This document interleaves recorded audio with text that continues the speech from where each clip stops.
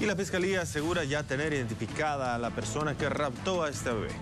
Estamos en ello, eh, en contacto con la policía, con la fiscalía de Montero, de ver a ver eh, las características raras de este plagio, porque pareciera eh, tan fácil como lo expone la víctima, pero de todas maneras estamos en ello. Como está trabajando los fiscales, no hemos, esto ha sucedido reciente, entonces están generando una investigación con la policía y cuando tengamos algunos elementos más concretos le vamos a dar como información. Ya está identificado, eso están trabajando los policías y preferimos que esté eso eh, con esa información ellos para efecto de no entorpecer su investigación. ¿Hombre o mujer?